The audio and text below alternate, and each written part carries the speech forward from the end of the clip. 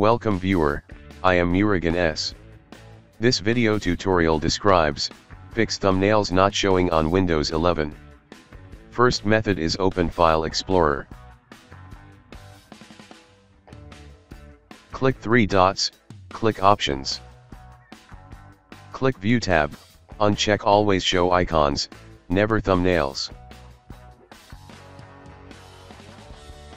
Click Search icon, type Advanced System Settings in Windows search bar, click View Advanced System Settings.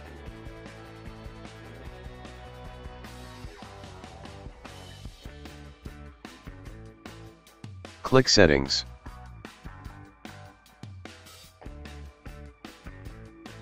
Make sure check Show Thumbnails instead of icons.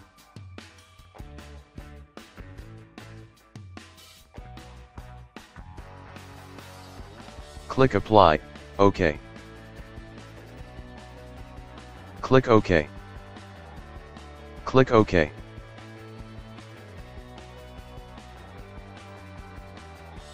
Second method type disk cleanup in Windows search bar, click disk cleanup.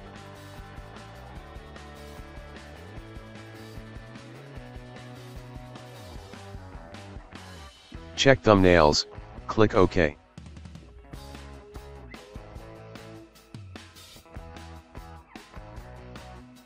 Click Delete Files.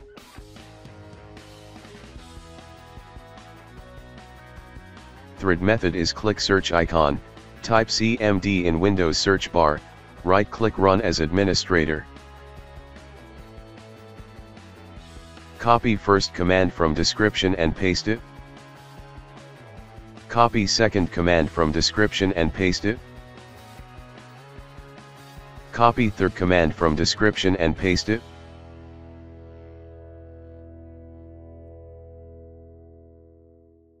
Fourth method is right-click Start button, click Task Manager.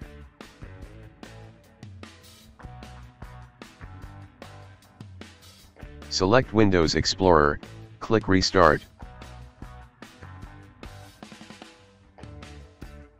I hope this video tutorial helps to you, please like, share and don't forget to subscribe my channel, thank you very much, see you next video.